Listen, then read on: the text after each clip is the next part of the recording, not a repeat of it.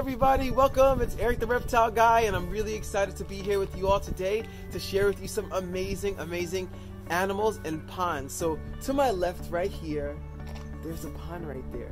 And in that pond right there, that pond is full of salamanders and tadpoles and newts and fish and all sorts of life. And even crayfish are in there too, as well. I saw some the other day. However, what's so special about this pond is that this is one of uh, one of many ponds that are in the Hudson Valley that contain tons of amphibians, and amphibians are one of the few animals during this time, this period of time, that are the, at the height of um, the, the highest level of becoming extinct. Now, I know that's not good news, but the good news is that there's something we can all to, do to make sure that these animals stay here for years to come, and that's by using earth friendly things. So we like to remind you to make sure you use earth friendly things throughout the show, and we're going to start with a pledge. So here's the pledge right now. So everyone raise your right hand and say, I promise to always do my very best to use earth friendly things. And if you do that, we'll have a nice healthy earth and we'll have lots of amphibians and animals for years and years to come. Now we're going to look inside the pond and we're going to observe the actual eggs of salamanders that were laid from about 30 days ago that are getting ready to hatch and have started to hatch already. And we're going to explore that right now. So let's go dive into the pond. Not literally, but we're going to go check it out.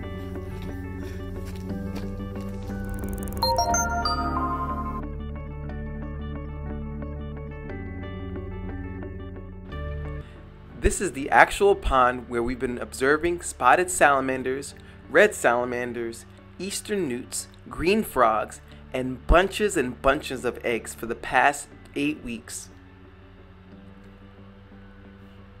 We utilized an underwater camera to get amazing footage of all the eggs. Right here, this one right here. This is the eggs I was looking at. This one right here. This is day number 46. If you look very closely off to the left, you can see one of the embryos actually moving around.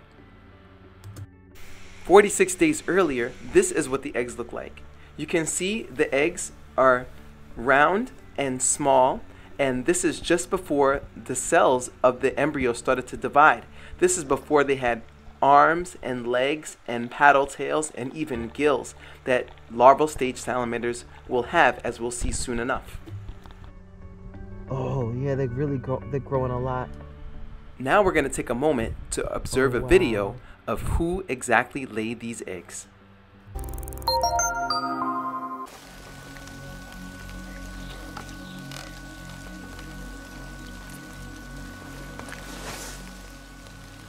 During the first rains of spring, an amazing migration happens.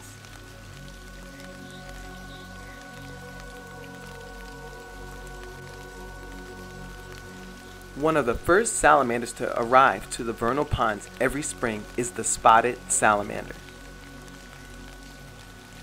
Scientifically known as Ambystoma maculatum.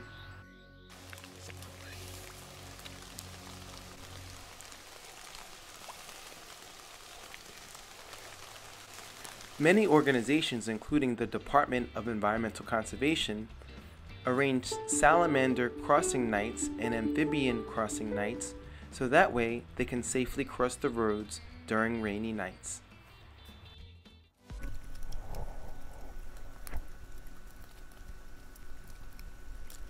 Once the salamanders migrate to the pond, they begin to immediately start to meet each other. Hello, hello, hello, hello. Shortly after that, the males begin to deposit what are called spermatophores. If you look closely at the video, you'll notice little white projections on top of the leaves. Those are spermatophores. The female salamander uses her back legs to locate a spermatophore.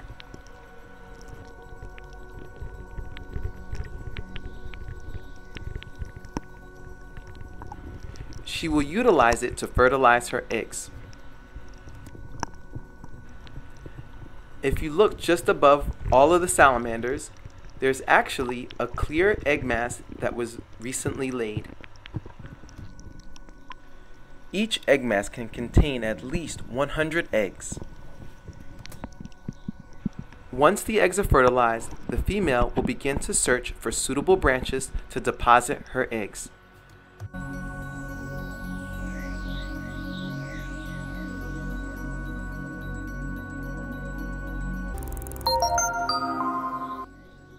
Erik, how do salamanders mate?